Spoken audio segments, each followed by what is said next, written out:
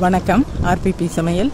இது பாம்பன் பாலம் கடலில் எப்படி தண்ணி போய்கிட்டு இருக்குது பாருங்கள் இது வந்து கப்பல் வந்ததுன்னு சொன்னால் இது வந்து மேலே தூக்கிக்கும். மற்ற நேரம் ட்ரெயின் போகிறக்காக நேரு ரெண்டு ஜாயிண்ட் ஆகிக்கும் அந்த பாம்பன் பாலம் தான் இது. எல்லோரும் பார்த்துருப்பீங்க. இருந்தாலும் இப்போ பக்கத்தில் மறுபடியும் ஒன்று அடுத்த பாலம் ஒன்று வேலையாகிக்கிட்டு இருக்குது. ஒரு ட்ரெயின் பாலம் மாதிரி ஒன்று போட்டுட்ருக்குறாங்க. அதுக்கு ஏதோ நிறைய மிஷினரிஸ் எல்லாம் வேலை நடந்துக்கிட்டு இருக்குது.